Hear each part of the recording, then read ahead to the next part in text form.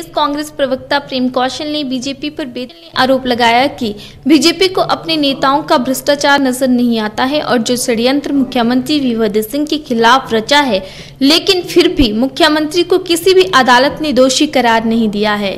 प्रेम कौशल ने कहा कि बीजेपी पार्टी के सांसद तक स्वयं जमानत पर हैं, लेकिन फिर भी कांग्रेस नेताओं पर लांछन लगाते हैं। उन्होंने कहा कि हिमाचल की समस्याओं और मसलों को लेकर बीजेपी जनता के बीच नहीं जा रही है, लेकिन केवल छीटाकसी की राजनीति करने में मशगूल है। प्रधानमंत्री आदरणीय नरेंद्र मोदी जी,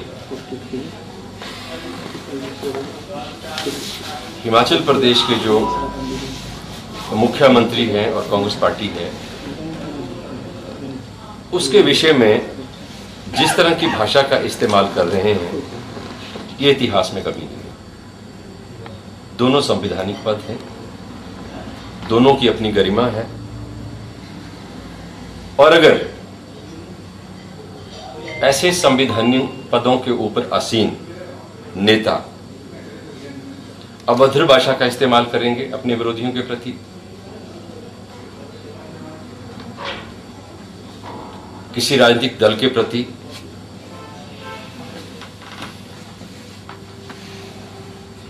इससे बड़ा दुर्भाग्य लोकतंत्र में कोई दूसरा हो नहीं सकता। जनता पार्टी के नेता हिमाचल प्रदेश में कर रहे हैं। अब भ्रष्टाचार की परिभाषा भाजपा के जो डिक्शनरी है, उसमें क्या है, ये समझ से पहले वीरभद्र सिंह के ऊपर जो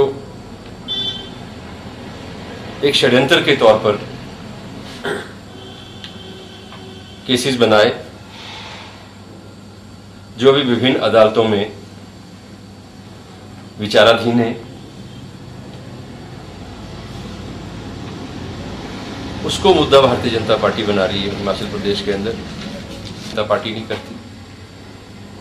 भारतीय जनता पार्टी के राष्ट्रीय अध्यक्ष के बेटे की संपत्ति और उसकी कंपनी का जो कैपिटल है, वो पचास हज़ार से अस्सी करोड़ के करीब पहुँच गया, जो सिक्सटीन थाउज़ेंड परसेंट की इंक्रीज है।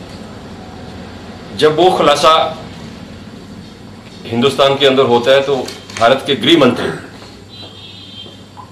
आदरणीय राजनाथ सिंह, वो बचाव में आ जाते हैं।